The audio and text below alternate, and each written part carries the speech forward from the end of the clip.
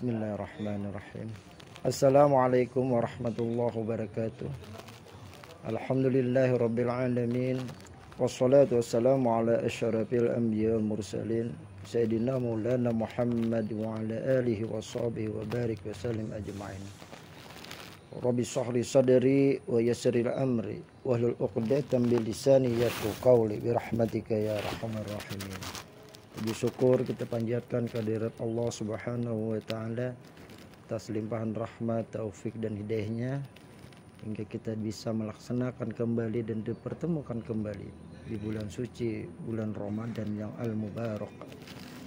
Salawat dan salam kita haturkan kepada junjungan Nabi besar Muhammad sallallahu alaihi wasallam, kepada keluarga beliau, kepada para sahabat dan pengikut sunnah beliau ila yaumil qiyamah. Ayuhanul kiram rahimakumullah. Sebagaimana Allah subhanahu wa ta'ala berfirman Ya ayuhallazina amanu Kutiba alaikumus syam Kama kutiba ala allazina min qablik La'allakum tattaqun.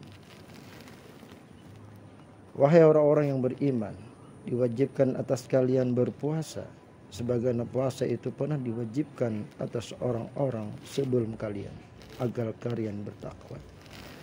Dalam ayat ini Allah Subhanahu wa taala melalui puasa Ramadan agar kaum mukmin selalu untuk bertakwa. Takwa dalam artian mentaati segala perintah Allah dan melaksanakan segala larangannya. Lawan daripada takwa adalah uh, kemaksiatan sebagaimana yang kita ketahui bersama bahwa apa yang sudah kita lalui dalam proses bertakharu kepada Allah 11 bulan yang lewat dipertemukan kembali pada bulan ini mengevaluasi diri memuhasabahi diri dalam rangka ketaatan yang sebenar-benarnya taat kepada Allah dengan apa? Meyakini sebenar-benarnya kullu bi islami kafah artinya apa menghadirkan hati kembali dalam sebuah ketaatan yang totalitas. Agar kemaksiatan-kemaksiatan yang pernah kita langgar baik hal aktivitas kalbi baik aktivitas zahir entah itu sifatnya yang melanggar perkara-perkara subhat dalam perkara harta dan segala macamnya. Maka di saat yang berbahagia ini akhirul kiram rahimakumullah pelaksanaan puasa Ramadan yang diwajibkan Allah mengingatkan kita kembali kepada arti takwa itu. Imam Nawawi rahimakumullah dalam syarah Sahih Muslim adalah menjalankan perintah-perintah Allah dan meninggalkan larangan-larangannya. Perintah dan larangan Allah itu itulah adalah syariah Islam. Dengan kata lain takwa mengamalkan dan menerapkan syariah dalam seluruh aktivitas kehidupan Takwa mesti diwujudkan secara individual dari setiap hamba.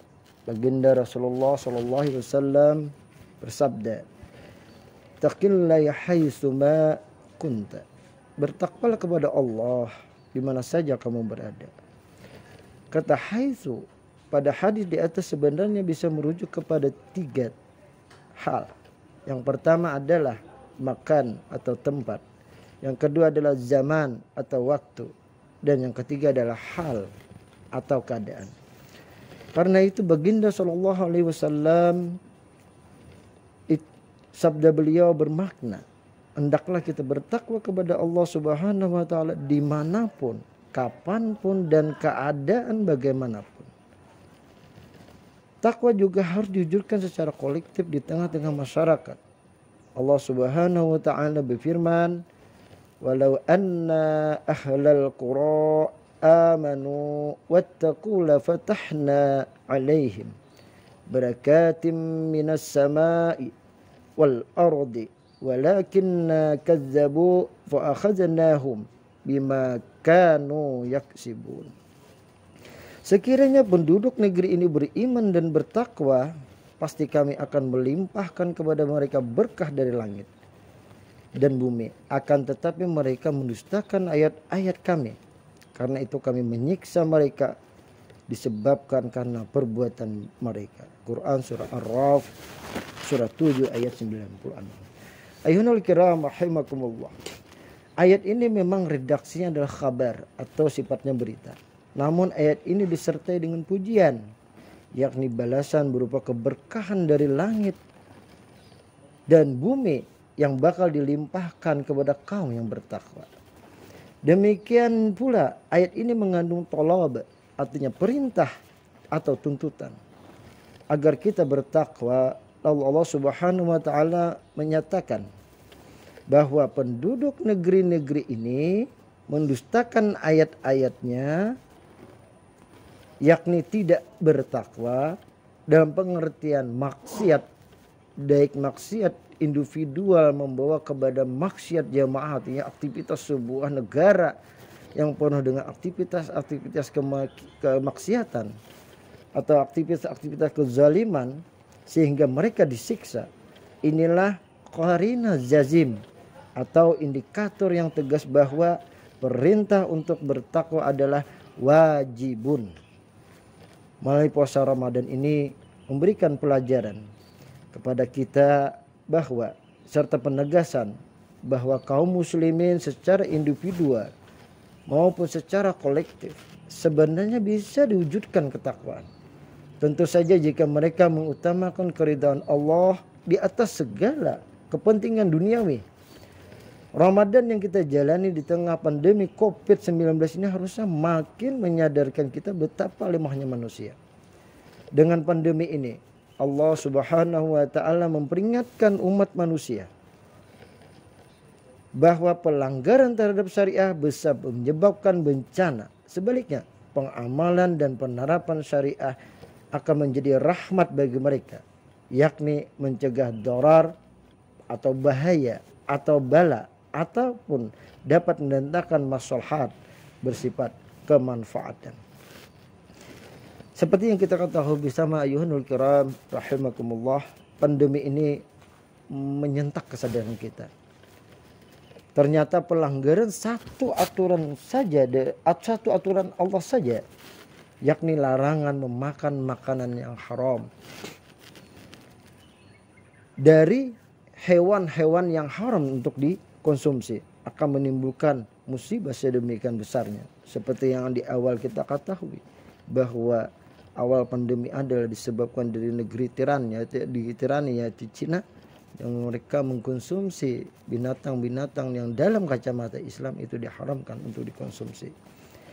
Hingga menjalar realitanya bukan hanya satu hukum syariah yang dilanggar saja sebagaimana besar sebagian besar hukum syariat telah dilanggar ditelantarkan dan dicampakkan. Akibatnya pun sudah tampak nyata. Kerusakan alam dan lingkungan terjadi di mana-mana. Juga terjadi banyak krisis, krisis kemanusiaan, krisis kepercayaan, krisis ekonomi, krisis moral, krisis sosial, krisis pendidikan, krisis hukum, dan lain-lain. Terjadilah kemiskinan, kelaparan, kesenjangan, ekonomi, dan sosial. Merebaknya kriminalitas, dekadensi moral, penjajahan, negara-negara kuat atas negara-negara lemah. Penguasaan kekayaan alam milik publik oleh segerintir orang. Ketidakadilan hukum dan kezaliman penguasa dan lain-lainnya. Ayunul kiram rahimakumullah. Sebaliknya, betapa besar kebaikan yang akan dirasakan oleh umat manusia ketika syariah diamalkan dan diterapkan secara totalitas dan menyeluruh dengan pengamalan dan penerapan syariat Islam secara kafah pasti akan tercipta keadilan, kemakmuran, kesejahteraan, kesetaraan hukum, keamanan, kenyamanan, akhlakul karimah di tengah-tengah masyarakat. Semua ini merupakan keberkahan yang menjadi konsekuensi dari ketakwaan kepada Allah Subhanahu wa taala. Ahlul kiram, rahimakumullah. Hal inilah yang menggugah kesadaran kita untuk segera mewujudkan ketakwaan individual maupun ketakwaan secara kolektif dengan cara bersegera mengamalkan penerapan syariah Islam secara kafah. Inilah yang dalam Al-Quran Allah Subhanahu wa taala berfirman, ya al ya ayyuhallazina amanu udkhulu fi silmi kaffah hai orang-orang yang beriman masuklah kalian ke dalam Islam secara kafah Al-Baqarah ayat 208 di dalam tafsir Aisyar At-Tafasir Imam Abu Bakar Az-Zairi Az-Jazairi menyatakan bahwa kafatan dalam ayat di atas bermakna jami'an total atau menyeluruh. Karena itu Imam Al-Jazairi tidak boleh sedikit pun kaum muslimin meninggalkan syariah dan hukum-hukum Islam.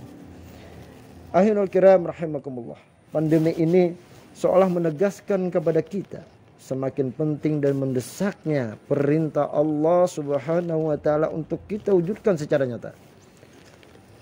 Ketika kita disuruh kutiba alaikumusiyam, kita segera melaksanakan puasa meskipun kondisi pandemi sekalipun. Begitu pula ketika kita disuruh kutiba alaimu kisos fil qatla kita pun juga disuruh segera mengamalkan menukan hukum, hukum kisos. Tidak hanya hukum kisos, hukum-hukum syariah yang lain wajib juga untuk diamalkan, untuk diterapkan. Tentu saja negara sebagai pihak yang berwenang, hukum cambuk bagi penjinah ghairu musan dan rajam bagi penjinah muhsan. Pengambilan zakat secara faksa dari para muzaki yang enggan. Pengaturan kekayaan milik umum hukum potong tangan bagi pencuri dan hukum-hukum lainnya. Semua itu harus dilakukan oleh negara. Allah Subhanahu wa taala berfirman, "Wasariqu wasariqatu faqta'u aydiyahuma jazaa'an bima kasaba nakalam minallah." Pencuri laki-laki dan perempuan, potonglah tangan keduanya sebagai pembalasan atas apa yang mereka kerjakan dan at, dan sebagai dan sebagai siksaan dari Allah Subhanahu wa taala. Al-Maidah surah 38 ayat 38. Akhirul kiram rahimakumullah. Menafsirkan ayat ini Imam Fakhruddin Ar-Raji di dalam kitab dan tafsirnya Mafati Al-Ghaib fi At-Tafsir menegaskan para mutakallimin berhujah dengan ayat ini bahwa wajib atas umat untuk mengangkat seorang al-imam yaitu khalifah untuk mereka. Dalilnya adalah bahwa Allah Subhanahu wa taala telah mewajibkan di dalam ayat ini untuk menegakkan hak atas pencuri dan pejinah. Tentu saja harus ada seseorang yang melaksanakan surat tersebut untuk melaksanakannya. Sungguh umat telah sepakat bahwa tidak seorang pun dari rakyat yang boleh menegakkan hak atas mereka perlaku kriminal bahwa mereka tersepakat bahwa tidak boleh haram atau haram menegakkan hak atas seorang yang merdeka kecuali pelaku kriminal eh, menjadi pelaku kriminal kecuali al imam yaitu khalifah karena itu Wajiban imam atau khalifah adalah hal yang pasti. Ahlul kiram rahimakumullah. Kepemimpinan imam atau khalifah itulah yang disebut dalam as-sunnah dan oleh para ulama sebagai al-imamah atau al-khalif al-khilafah. Oleh karena itu mengangkat imam atau khalifah yaitu menegakkan khilafah adalah fardu kifayah atas seluruh umat Islam. Ini sebagaimana ditegaskan oleh Imam An-Nawawi dalam rawat Raudah At-Talibin wa Umdah Al-Muftin. Imam Ash-Shatibi di dalam Al-Muwafaqat menjelaskan benar dikatakan bahwa itu semua wajib atas semua. Al wajib tawajud sebab pelaksanaan fardu itu hakikatnya adalah menegakkan kemaslahatan umum karena itu mereka secara keseluruhan dituntut untuk menunaikan fardu tersebut. Dari penjelasan Imam Ash-Shatibi ini ketika kewajiban adanya imam atau khalifah yang melaksanakan syariat secara menyeluruh itu belum ada, maka semuanya wajib untuk berusaha untuk mewujudkannya. Ajakan, seruan dan dakwah untuk mewujudkan itu adalah merupakan fardu kifayah. Karena itu, ajakan, seruan dan ke arah penerapan syariah Islam secara kafah jelas merupakan amal soleh atau kebaikan. Bagian dari pelaksanaan fardu kifayah tersebut. Karena itu pula, anggapan bahwa penerapan syariah secara menyeluruh di dalam khilafah sebagai ancaman, perbuatan terlarang atau bahkan sebagai kejahatan lalu para pengusung dan pendakwahnya dikriminalisasi semua itu hanyalah cerminan pikiran dan keputusan yang rusak serta tindakan yang menyimpang dari petunjuk Allah Subhanahu wa taala. Allah Subhanahu wa taala berfirman, "Afanaj'alul muslimina kal mujrimina ma lakum kaifa tahkumun?" Apakah patut kami memperlakukan kaum muslimin sama dengan orang-orang yang berdosa atau kaum kafir. Apa yang terjadi pada kalian sehingga berbuat demikian? Bagaimana kalian mengambil keputusan?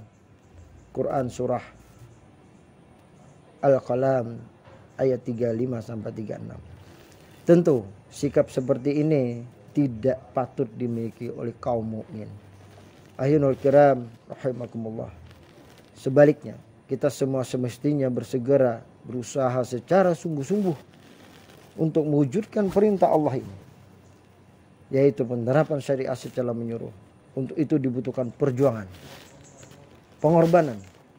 Pada bulan Ramadan ini tentu perjuangan dan pengorbanan tersebut harus dilipat gandakan. Tentu agar syariat Islam secara kafah bisa terwujud di tengah-tengah kehidupan masyarakat akhirul kiram. Demikian apa yang bisa saya sampaikan. Wallahu alam bisawab wabillahi taufik wal hidayah. Assalamualaikum warahmatullahi wabarakatuh